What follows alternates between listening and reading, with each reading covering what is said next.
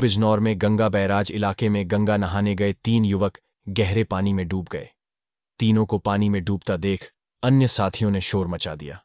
इसके बाद स्थानीय लोगों ने गोताखोरों की मदद से युवकों की तलाश शुरू की। काफ़ी मशक्कत के बाद भी अभी तक युवकों का पता नहीं लग पाया है। फ़िलहाल पुलिस और प्रशासन की टीम गोताखोरों की मदद से लोगों की तलाश में जुटी हुई है। दरअसल, बिजनौर ज़िले सहित पूरे उत्तर भारत में इन दिनों गर्मी ने अपना कहर बरपा है। गर्मी से निजात पाने के लिए लोग तरह तरह के जतन कर रहे हैं। कुछ लोग ठंडा पानी पी रहे हैं तो कुछ एसी और कूलर की हवा से गर्मी से बच रहे हैं। कुछ लोग गंगा में नहाने के लिए भी जा रहे हैं।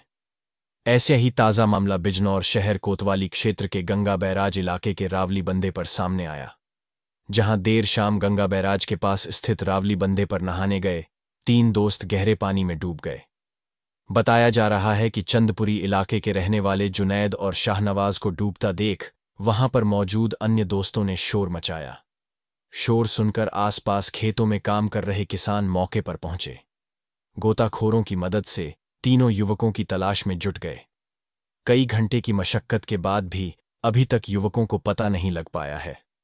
फ़िलहाल पुलिस प्रशासन की टीम भी मौके पर पहुँच गई है। गोताखोरों की मदद से तीनों युवकों की तलाश में जुटी है। बिजनौर से नीरज कुमार की रिपोर्ट।